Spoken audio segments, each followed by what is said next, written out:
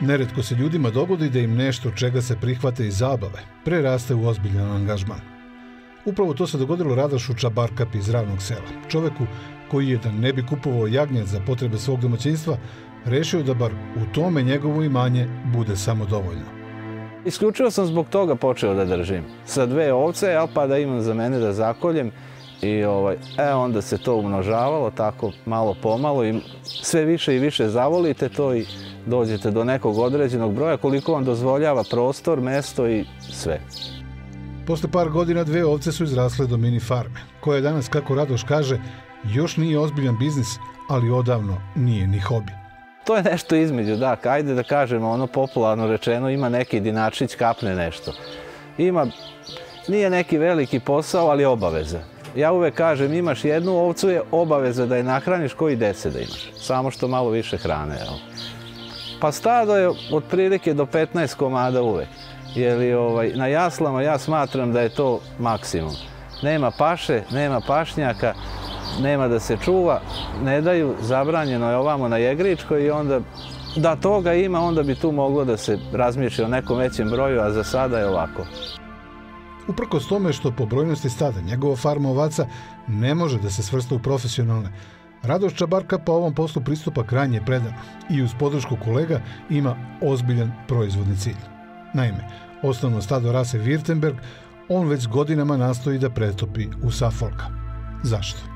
Bio sam ja zadovoljan sa Wittenbergom, ali nisu mi se sviđali. Kad mi je trebao ova, nisam mogu da nađem ovna kak, kakav se meni sviđa. I on sam uzeo ovaj, Safolka i ajde, reko jednu godinu da probamo i svideo mi se i tako sam ostao na tome. A razloga da nastavi sa pretapanjem rasnog sastava svojih ovaca u rasu Suffolk, kaže ovaj farmer, ima mnogo.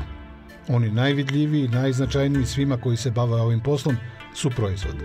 Cenim to što je dobra plodnost, dnevni priraštaj ide i od 350 i do 450 grama uz naravno dobru ishranu, dobar obrok, vitamini, proteini, Znači, bez toga ništa. Dobili smo, kako da ne, dobili smo kvalitet. Ja mislim da je Radman mesa uz takvu ishranu koncentrovano i do 57% i 58%.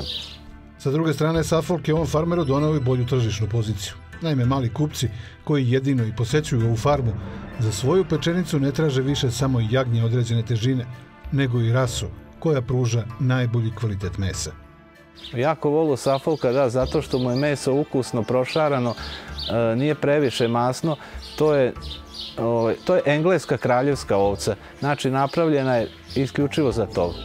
Sve u sve, dve ovce u oboru za potrebe domaćinstva za Radoša Čabarkapu su brzo izrasle u posao. Mali, ali s obzirom na vremena u kakvim živimo, dragocen.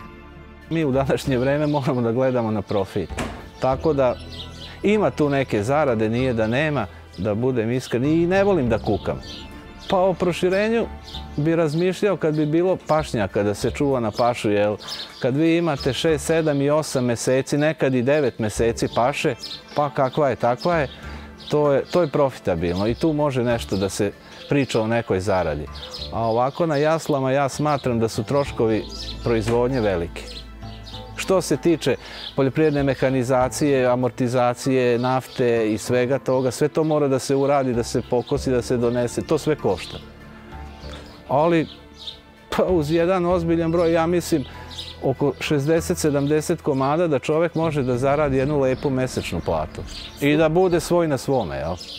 Na kraju valja napomenuti i ono danas rekli bi više nego ikada sudbinski bitno za sve koji se bave agrarom.